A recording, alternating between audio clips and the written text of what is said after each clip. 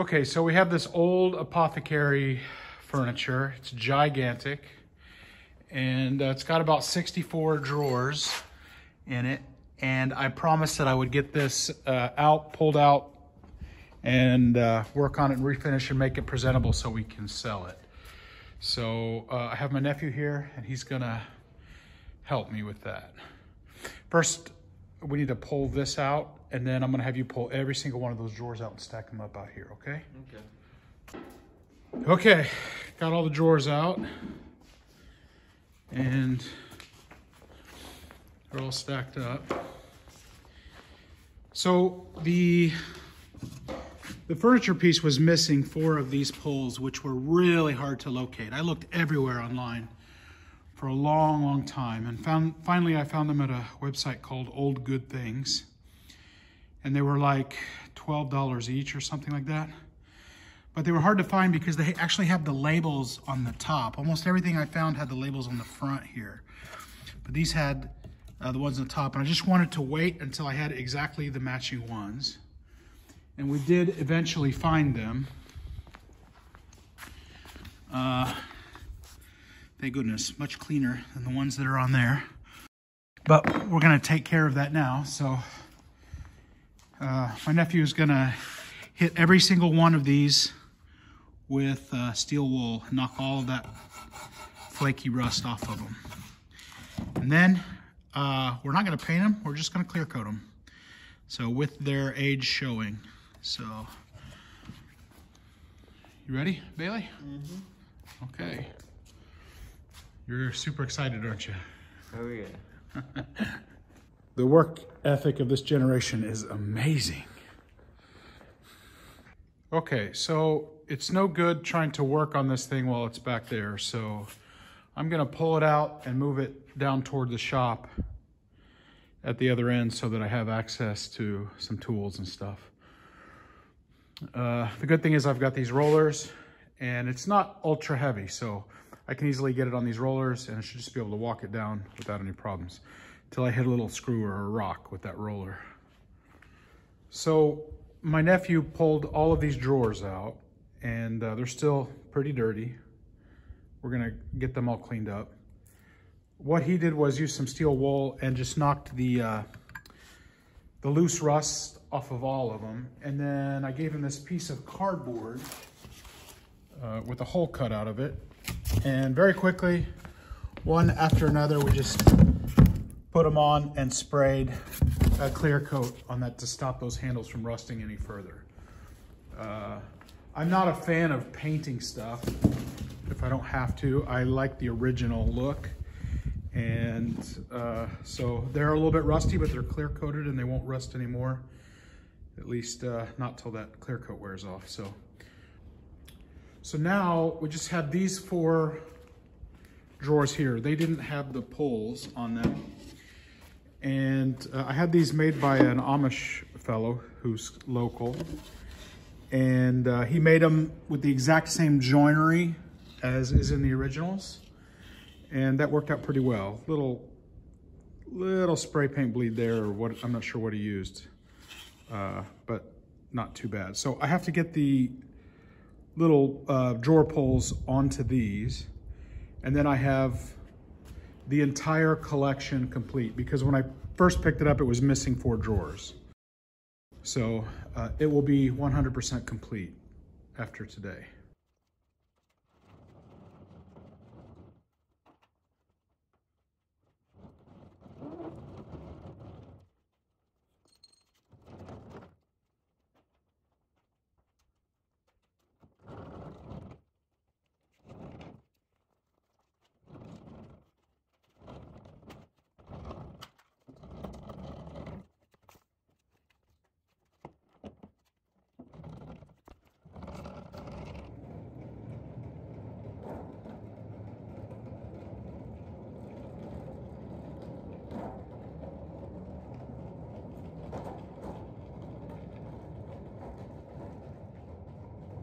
Okay, so there it is. Super dirty and uh, definitely needs some TLC. So let me uh, take you around it and show you kind of what I'm dealing with here. So First things, first things first is this board here. Somebody put on some self-adhering like laminate, linoleum type stuff. So that's got to come off and then I'll have to uh, stain it or dye it to match this. Um, another problem is that here and uh, in a couple places and on some of the actual pull-out drawers, somebody just decided to clean their paintbrush off. And I have Googled and YouTube and Googled and YouTubed and searched and searched, and I can't find a way to get this paint off without uh, removing the varnish too. I mean, there are lots of theories like soak it in oil overnight and then try to wipe it off. I tried a few things and sadly I couldn't come up with anything. Maybe there's somebody out there who knows, but by the time you see this video, it's gonna be too late. So I'm gonna go ahead and just sand off these little spots and uh, then try to match that stain as much as possible. So uh, the end piece fell off. I have it back there. I need to reassemble that. This is kind of coming out, so I need to uh, address this and get it uh, connected back on in the right way. And we've got a chipped piece of quarter round, which if I can find the exact same quarter round somewhere in the factory, then I'll just patch that in and stain it. If not, I'll remove that entire piece of quarter round and just replace it. So, uh, and then one last kind of major thing.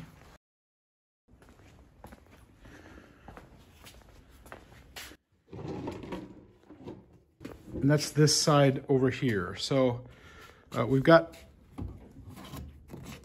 some breakage here. So I'm gonna have to, you know, put that back in and glue that up and uh, fasten it down into the correct profile.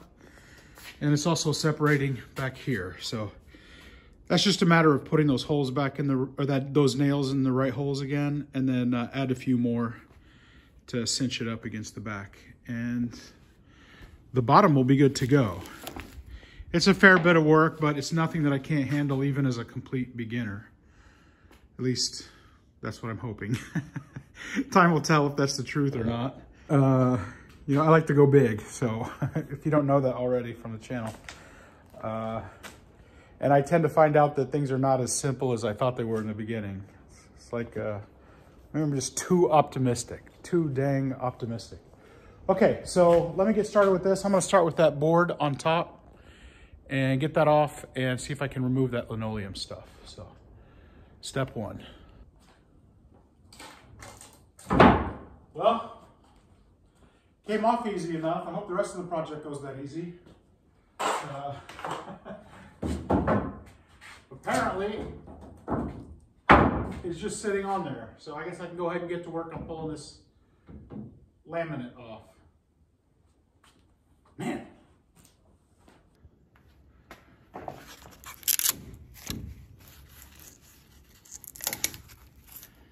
That would be amazing if I could get that to peel off and still leave the color underneath it, but I have serious doubt this that's going to be possible. Uh, first thing I need to do is get it cleaned off. Dang. Dang!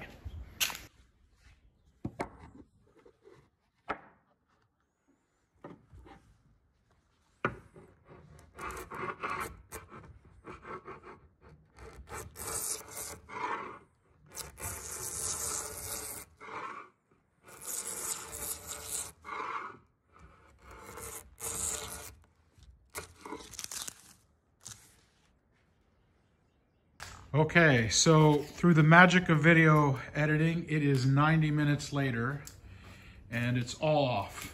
So I'll take it. I'll take it. That could have been a three day job depending on, you know, how much that stuff wanted to adhere to the surface. But uh, it came off pretty quick once I decided to turn the chisel over. Uh, I initially started like this so that it wouldn't dig in, uh, but then found out this was the way to go. And the scuffing is very minimal. It's pretty dusty still. Right now it's, you know, uh, it needs to be waxed. But uh, yeah, I'm so happy that that was actually even doable. Awesome.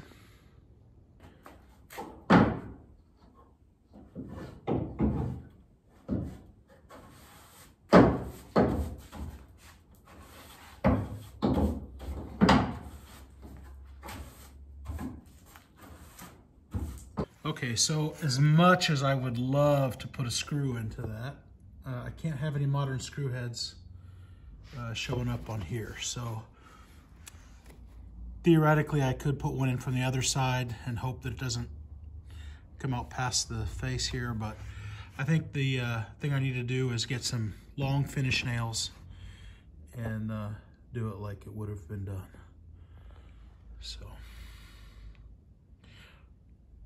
time to go hunt the right nails.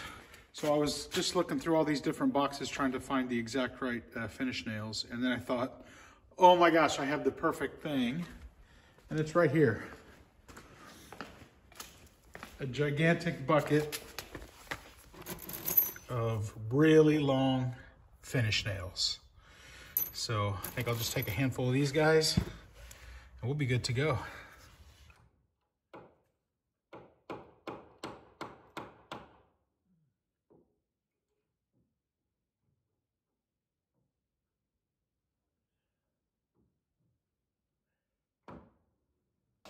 Well, I'm gonna have to pre-drill those holes because that wood is hard. Oh my gosh. Uh, bent that nail like, uh, anyway.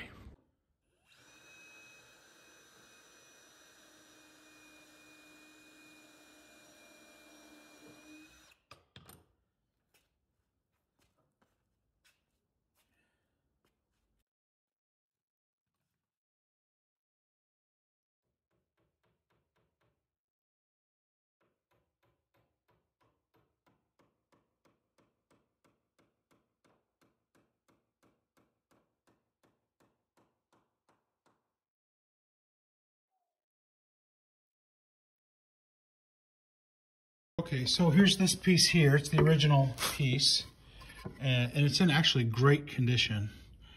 Uh, I just need to uh, back those nails out and clean it up a little bit. And then I'll just use the exact same process. I'll pre-drill the holes and use those uh, really large finish nails in there. So won't be able to see it here. Uh, but before we get to that, I just noticed that just like on the other side, we've got a little bit of separation going on here. So I'm gonna have to get that uh, pressed back up and uh, secured and attached back to the main body. So I don't know what it is about the ends wanting to pull off. But yeah, one step forward, two steps back.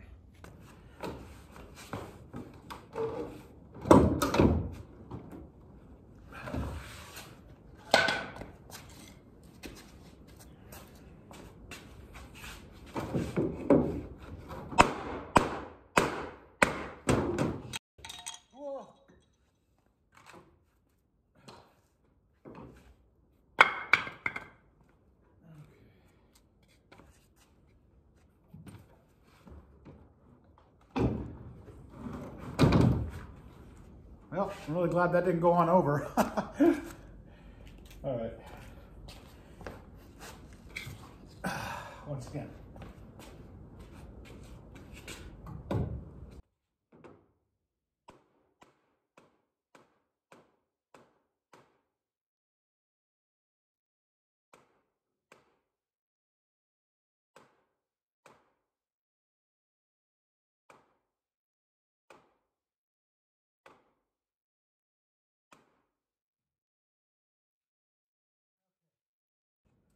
Got it.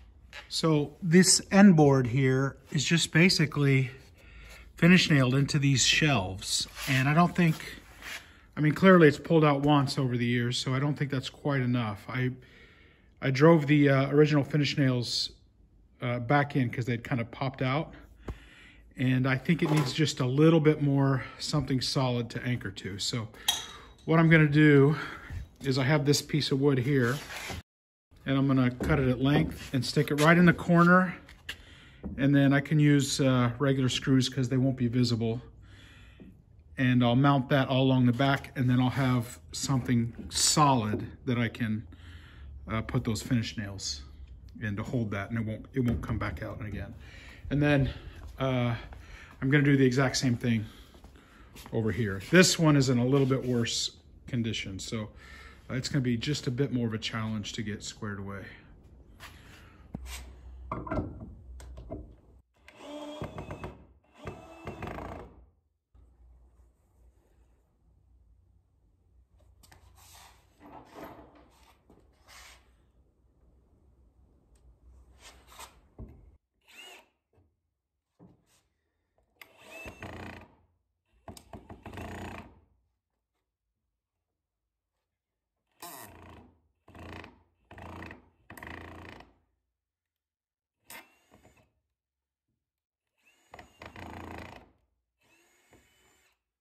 Well,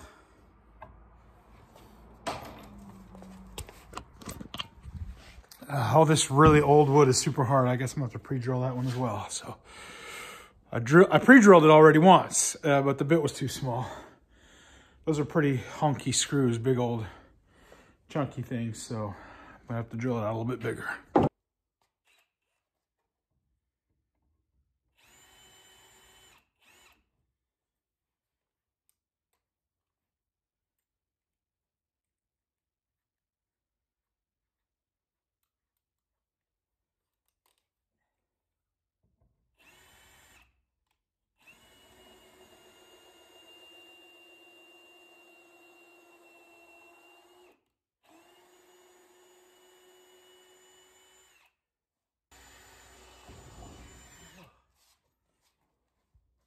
Get this thing strapped down.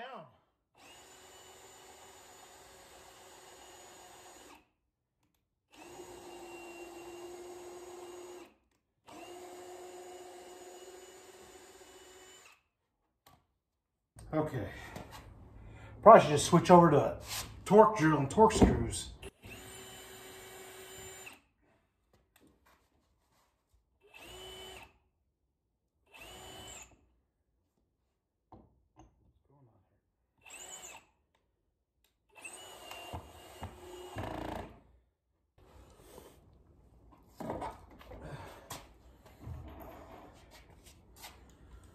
This is taking way longer than it should. okay.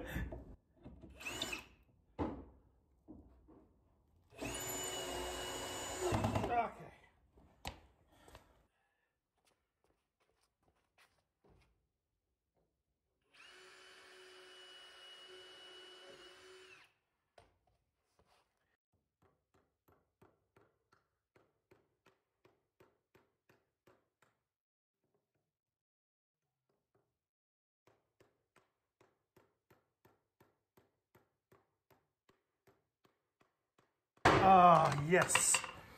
Oh yeah, so it's really starting to come back together. So uh, this side is really solid now and uh, it's not gonna separate anymore. This last side here, and then I just have to address the paint issues and get it cleaned up. That'll be the bottom half and the uh, top half is still to come. And I almost forgot, I still have to do this quarter round deal with that situation. So uh, it, it, really feels great to be getting this thing squared back away because uh, we bought it a few years ago and it's just been sitting in the building, uh, you know, gathering dust with raccoons climbing all over it. And uh, yeah, once I pulled it out, I didn't realize how much really needed to be done with it. But uh, one single afternoon and it's already almost back in shape. So that's amazing. Uh, stay tuned. I'm going to tell you a little bit of a story about this piece too. So uh, let me get that and then fix the quarter round and uh, the bottom half will be done.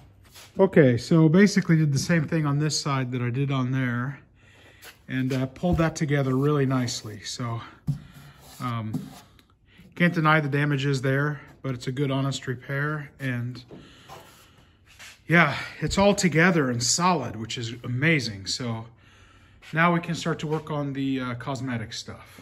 Okay, so next thing is this piece of quarter round And uh, I was hoping that I might be able to actually find it. Um, but sadly, it's missing. So I really don't like the patched in look. I'd like to have one piece of quarter round all the way down. And this is really long, so I'd have to find a pretty long piece of it. I'm gonna go upstairs and see if we have something. I know we've got lots of trim laying all over the place, so maybe I do. Okay, so here's my big pile of trim. And uh, it's kind of like drawing straws. You don't know if you're gonna get the short straw or not. Oh, that's a, actually that's a perfect piece of trim. It has kind of the old look. Maybe it's even cedar or something, but it's not long enough. It's missing about three feet. Let's see if there's anything else in here. Well, lots of baseboard, but no quarter round. So worst case scenario, I can use that to patch it in. Okay, so I'm not gonna look a gift horse in the mouth. Uh, it is what it is. That's the piece I got. So I'm just gonna patch that in. The good thing is that it doesn't wrap around. There's no like 45 angles to cut or anything like that. It's just a straight long piece that goes on the, uh, the front face of the piece of furniture. Yeah, I just need to cut this guy off here so it's flat and then butt that up and then nail it all back in and uh, color this guy so it matches.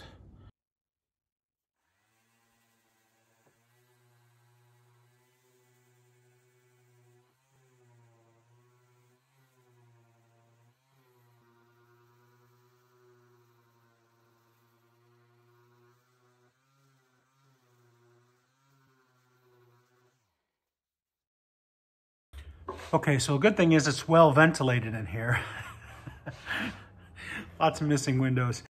Uh, I have this uh, General Stains product, General Finishes product, and it's actually not a stain, it's a dye, and it's called Merlot. So I always have terrible luck when I try to match what it looks like on my computer monitor with what it actually looks like on the wood. So, and I know a stain or a dye can look different on different kinds of woods. So it's, you know, it's just anybody's uh, guess what something's going to look like. So I did my best to pick out what I thought would be a good match. And uh, there's no better way to find out than just to apply it and see what happens.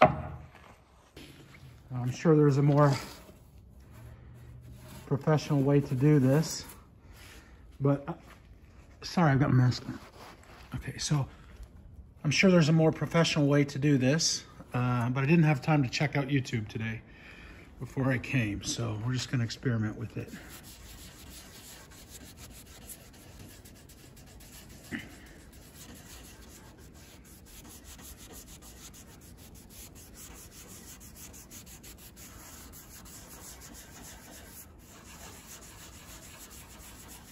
I think we can give it multiple treatments and it'll get darker and darker each time.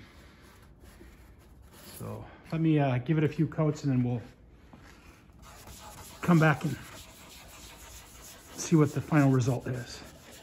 Okay, so there's the first pass and uh, the light colored wood is still visible through it. So I'm gonna give that a second to to dry up and then I'll I'll take a second pass and see if we can get a little bit closer match. Okay, so it was hard to tell if it was a match just because the uh, the other the rest of it was just kind of dry and and uh, not uh, hydrated. So you know, because when you when you polish something, it really explodes out in color and look and so forth. So I just I just hit it with a wet rag so I could see what it's going to look like when it's all kind of uniformly moisturized and and and revived. So I think it's a pretty close match. I might have to go over it one more time uh, just to darken it a touch more. So tell me what you think. It is really close. I mean, if you look at that side and that side over there, they're both a little bit lighter than that material in the middle. Uh, but I think I just need to darken it just a touch more and uh, it'll be perfect. Definitely better than a big giant splotch of white paint that was there before.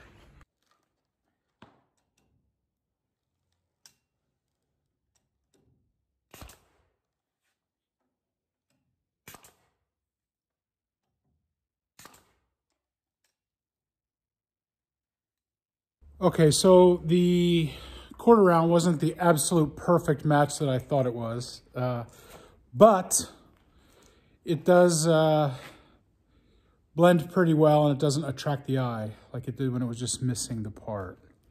So, you know, if you don't know what you're looking for, you won't notice it. Um, so at the moment, it's starting to come back to life, but it totally needs a good cleaning and it needs uh, to be rehydrated. And uh, I'm gonna put some furniture polish on it, put some wax on it. So uh, that's when it'll really start to come alive. So before I can get to that, I need to go put the drawer pulls on the drawers, get the drawers cleaned, uh, remove a little more paint off of this top section here, get it stained and dyed so that it matches up. And uh, except for a good cleaning, this section doesn't really need much. Um, I think if I recall, no, it's all complete.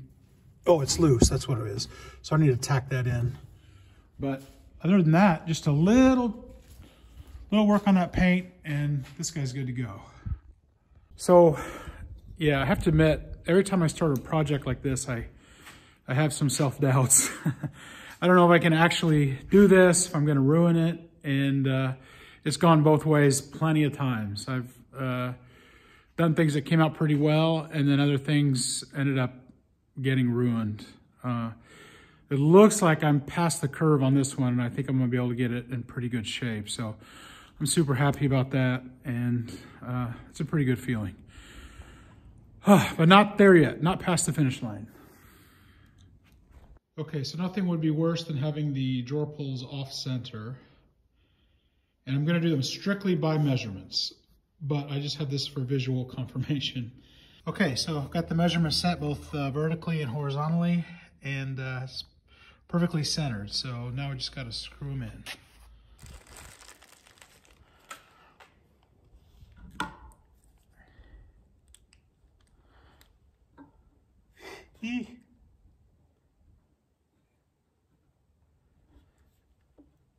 Let's move around on me.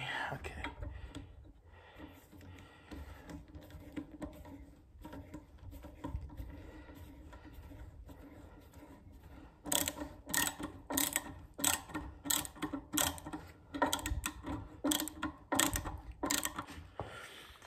So how many of you out there, if I put one of these on just a little bit crooked, how many of you guys would be bothered by that? Just a little bit.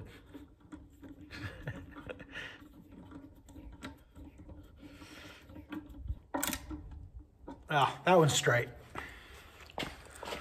So I want to take these home so I can clean them in my living room where it's nice and toasty tonight, but I don't know if I can fit them all in the vehicle.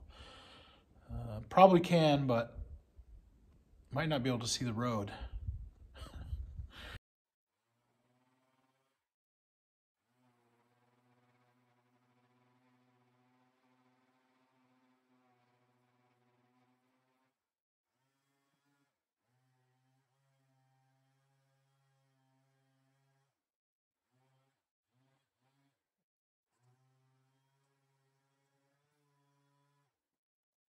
Okay, so I hit it once with the uh, dye and it's pretty close. You can still see that light colored wood showing through there on the left hand side. So I'm gonna go home and uh, recondition all of these. And then tomorrow when I come back, I'll hit that one more time and it should darken up and be a perfect match. So, okay, I'm ready to go home, get warm. Can't feel my fingers. Can't feel my fingers. These things. Oh my gosh. So, okay, so we're back. And uh, last night I took all those drawers home and uh, worked on them. And I just got in here this morning and I've wiped this down as well. Let me show you what I'm using. It's called Feed and Wax. Uh, first time I've ever used it. Not a product endorsement, just uh, something that happened to be available. And I did like it in the sense that it's not the kind of wax that comes in a can that's real, you know, real robust. And you have to do like little circles like you're polishing boots in the army or whatever. It's more of a, like a gel and it wipes on really quick. So you can uh, get right to it. So still a little bit, it's just freshly applied. So it will uh, kind of stabilize there and uh, I'll rub it a little bit and it'll take that sheen off. So yeah, looking good.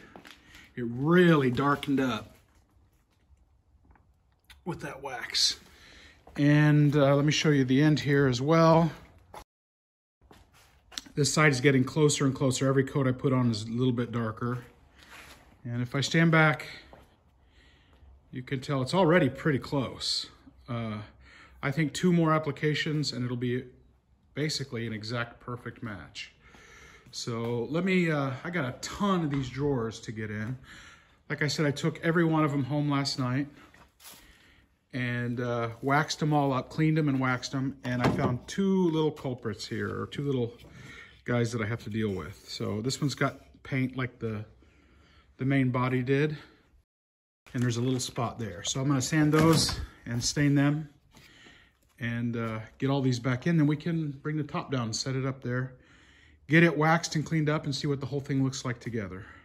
Uh, one other quick thing I wanted to mention, I'm gonna set this down on the floor because once I get the drawers in, it's really long and heavy and I don't want, you know, any sag going on there. And uh, I don't know if you've ever dealt with like dry concrete, but it can really suck the moisture out of your hands. And uh, it's just, a, it just sucks moisture, it holds moisture and can wreak all kinds of havoc with furniture. So uh, I'm not gonna leave this sitting on the concrete floor.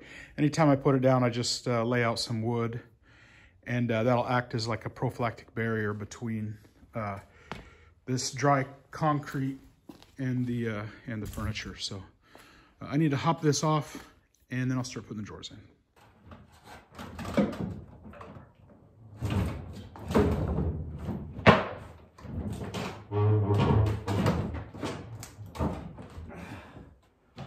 Oh, that thing is heavy. Huh? All right.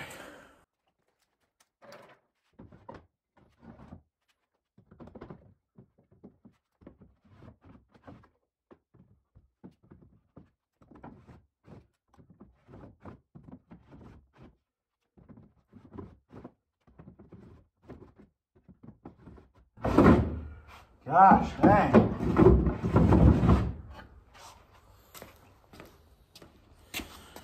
Well, because of expansion and contraction due to humidity, uh, some of the drawers are a little bit too big for the holes, so I have to, it's like a, a hunt game, so I have to hunt for the, the cubby hole that'll actually the drawer, so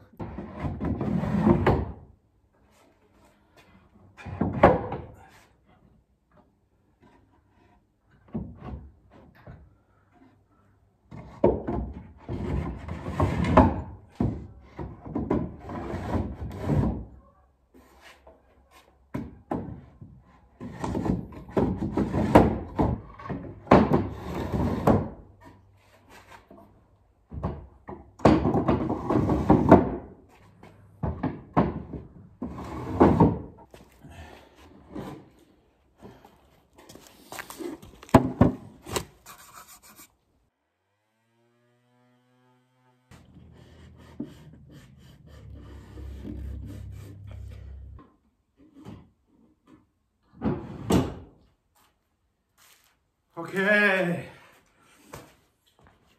All right, that one needs to dry and one more little coat. Uh, but yeah, it's looking pretty good.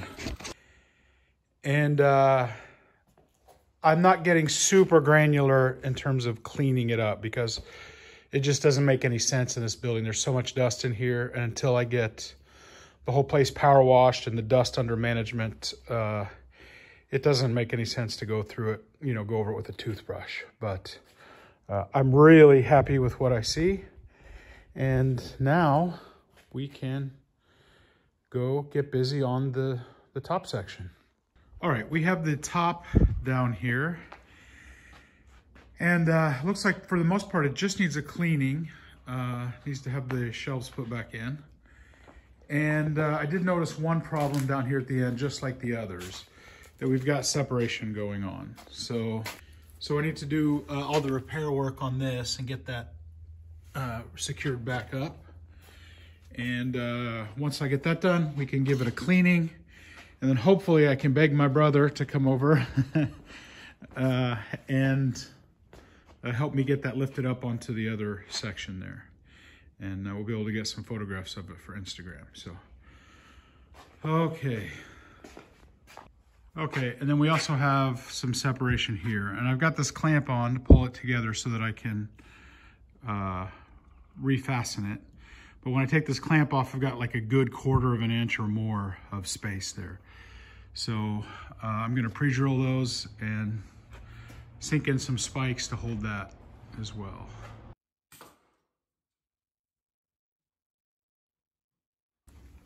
Uh, look at these circular saw marks. Uh, there's actually dust embedded in it. That's why it's so visible. But uh, that's old rough sawn lumber. And then I guess they used a finish saw on that side because there's no marks.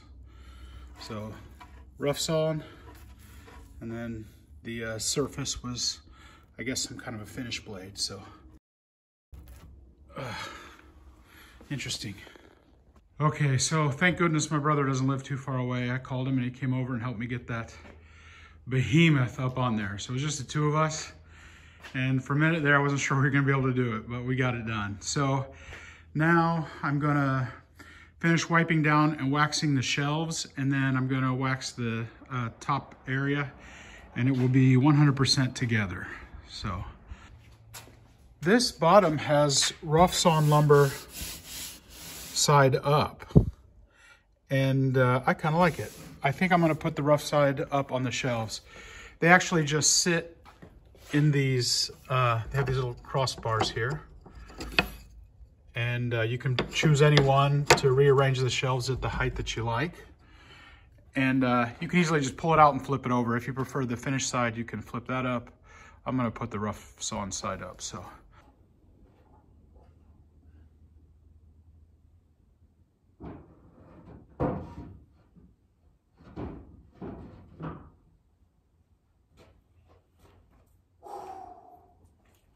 One down, eight more to go.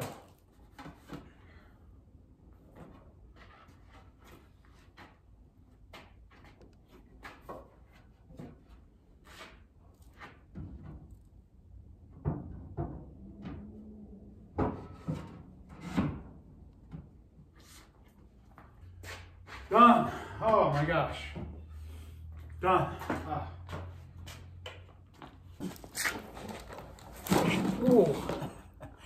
Uh, so I promised you guys just a little bit of a story. Uh, this piece of furniture I got a long time ago, two or three years ago now. And a lot of people have checked it out. They've seen it. It was here when we had uh, uh, our little sale here at the building. And lots of people came in and it catches people's attention. And there's lots of conversation about it, lots of questions. And uh, one thing that I kept hearing, especially from people who deal in antiques and who were uh, looking to pick in the building and stuff, is that this thing is just too big. Nobody would want it. It's not worth having. Uh, but those same people were willing to buy it.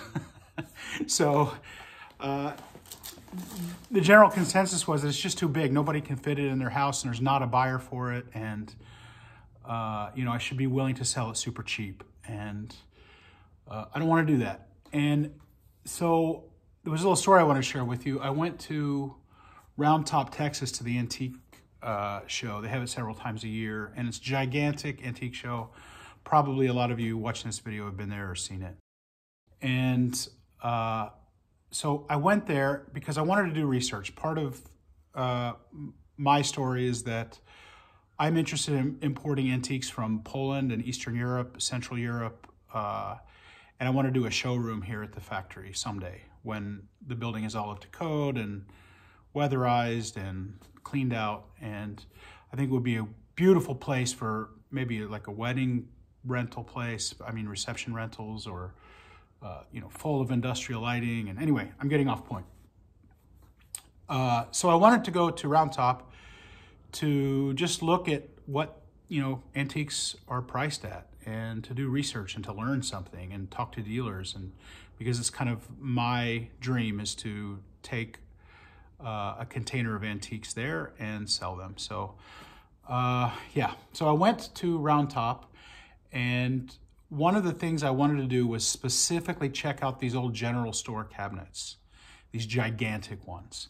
And I wanted to see uh, what they were priced at and if people were actually selling them. So when I went, uh, I saw about seven of them and they were kind of the whole gamut. They were like kind of smaller and more humble, kind of less this. And uh, they also had the big pieces like this. And this one's pretty spectacular. I would give it like a B plus, if not an A minus. Uh, but they had everything, including a few that were just out of this world. And the price ranges were starting at around $7,000 and uh, they were up to like 32,000, I think, was the most expensive one. And uh, so I was there pretty early in the show. I was there for the whole time. And I took a little notepad and wrote down the prices.